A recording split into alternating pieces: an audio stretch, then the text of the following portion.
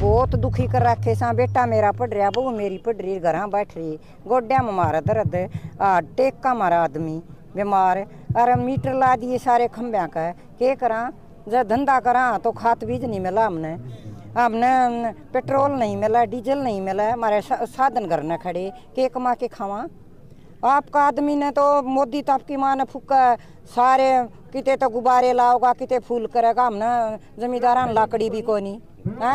इतना गंदा काम कर रखा। यो मोदी ने सारा हमारा झाड़ा ले लिया।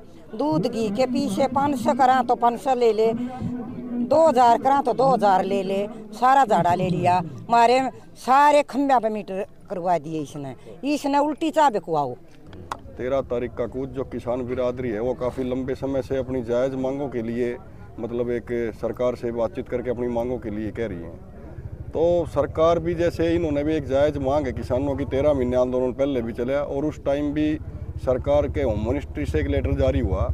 उसके अंदर उन्होंने कहा कि भाई जितनी भी आपकी ये मांगे हैं, इन मांगों को मानेंगे। जैसे उनकी मुख्य मांग तो एमएसपी पे भाई एमएसपी लागू करना। दूसरी जो हमारे भाई शहीद किसान हुए थे, साढ़े सात सौ किसान, उनके परिवारों को आर्थिक रूप से मुआवजा देना, उनको सरकारी नौकरी देना 2020 का बिजली अधिनियम को रद्द करना, काफ़ी 2013 का ज़मीन का है वो, उसको मतलब लागू करना, काफ़ी मांगे हैं किसान बिरादरी की, जो उन्होंने आश्वासन दे के उस टम, उस समय मतलब आश्वासन दिया और नहीं मानी। ये आज भारत बंद को लेकर के इन लोगों की कॉल थी तो इन्होंने कुछ समय के लिए सांकेतिक रूप से इसको बंद किया हुआ है।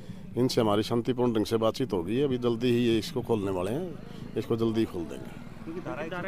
लाग- लागू होने के बाद भी जाम करना नहीं वो ठीक है लेकिन धारा एक सौ चौवालीस अलग चीज़ है लेकिन इनसे हमारी बातचीत होगी। जब सौहार्दपूर्ण माहौल में अगर बातचीत हो जाए और वो उससे फिर सहमत हो जाए तो फिर उस पर विचार करना पड़ता है। तो सर भारत बंद को लेकर सुरक्षा की दृष्टि से किस तरह के पुख्ता प्रबंध किए गए देखो उसके लिए हमारे पास उचित फोर्स हमारे पास है। और अब भी यहाँ भी हमारे पास फोर्स है फोर्स की कोई कमी नहीं है सारे इंतज़ाम हमारे कंफर्म हैं। हमसे जुड़े रहने के लिए हमारे YouTube चैनल को सब्सक्राइब करें और नई वीडियो की नोटिफिकेशन के लिए बेल आइकॉन को दबाएँ। अगर आप ये वीडियो Facebook पर देख रहे हैं तो लाइक ज़रूर करें और ज़्यादा से ज़्यादा शेयर करें। धन्यवाद।